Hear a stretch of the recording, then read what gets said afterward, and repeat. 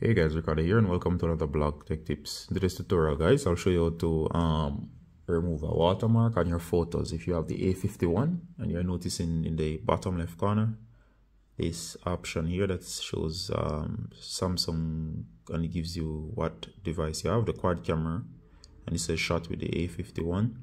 It shows that thing like a stoplight and all your photos are being marked this way or something similar. I'm gonna show you to fix the issue, alright? So in that case go to your camera. Once you're in your camera guys go to settings. Once you're in settings scroll all the way down. Once you scroll all the way down you should see the option that says watermark.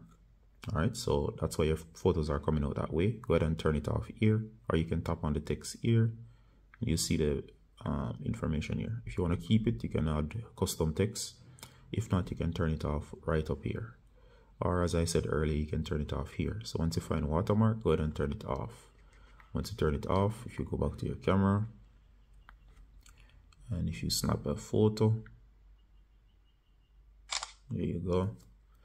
And you look at the photo now there's no watermark. So that's how to remove the watermark on um, your Samsung Galaxy A51. All right I hope you enjoyed the tutorial as always. Um, Ricardo from Blog Tech Tips saying bye until next time. Bye